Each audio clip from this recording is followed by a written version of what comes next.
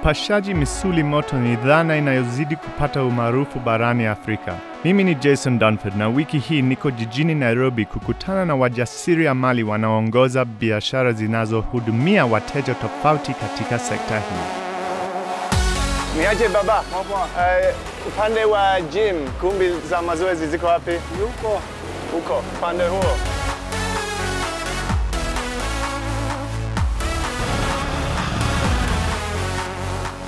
Ukumbi wa mazoezi wa kwanza ninaotembelea upo katika eneo la komaro Habari yako? mzuri sana Jason. Sasa Uh, nimefurahi kukuona leo. Na wewe ndio mmiliki wa ukumbi wa mazoezi huu? mmiliki wa hiki. Uliamua kuanzisha hii gym kwa nini? Niliamua sababu niliona mimi mwenyewe ni mtu wa mazoezi, so niliona nikianzisha itasaidia watu wengine sana, sababu nishaona watu wengi wakikufa juu ya high blood pressure nini, lakini akifanya mazoezi kidogo, hiyo inapunguza ugonjwa na kila kitu. So ningeomba tuingie ndani ukaangalie ni nini tunafanya hapa ndani, hata ukabebebebe chuma kidogo.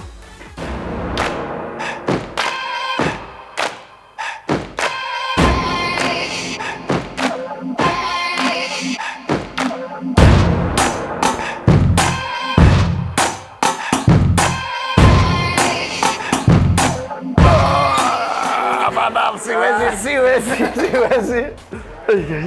Mimi ni samaki mdogo, si kama wewe. Siwezi.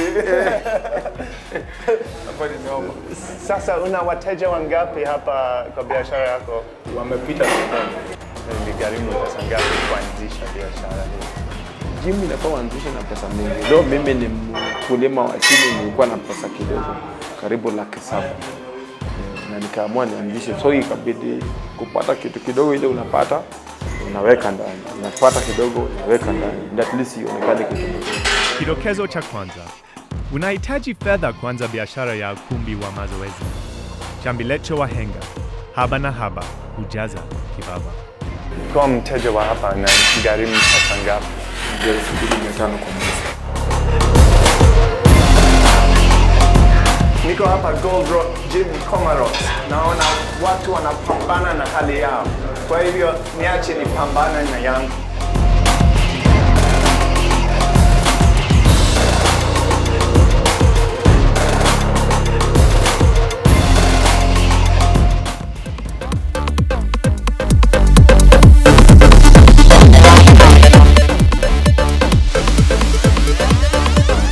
Huyu ni Lois Mashira, mwanablogu mashuhuri nchini Kenya katika masuala ya mazoezi.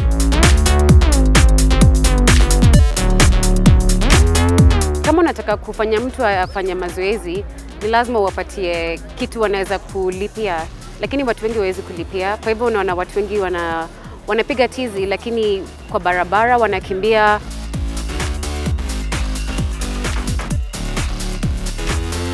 Kuna soko mkubwa sana kwa sababu um, watu wengi hawawezi kulipia gym zile ziko na bei kali.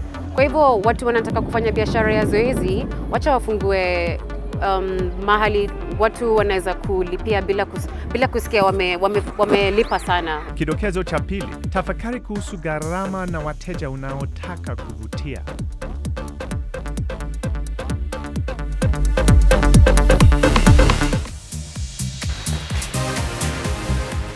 Tuko hapa Westlands jijini Nairobi kukutana na mjasiriamali mwingine anayehudumia wateja wa aina tofauti.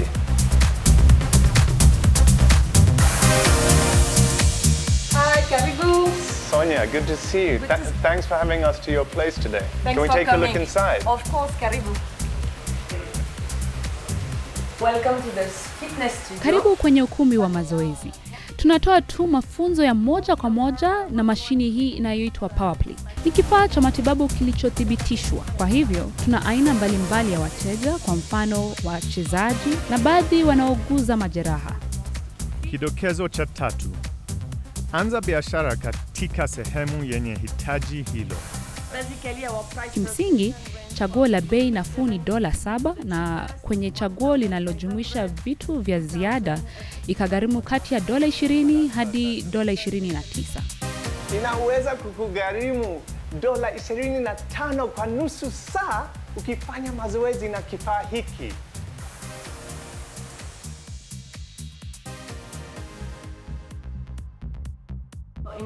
Kwa stani tuna wateja kati mia mbili hadi mia tatu.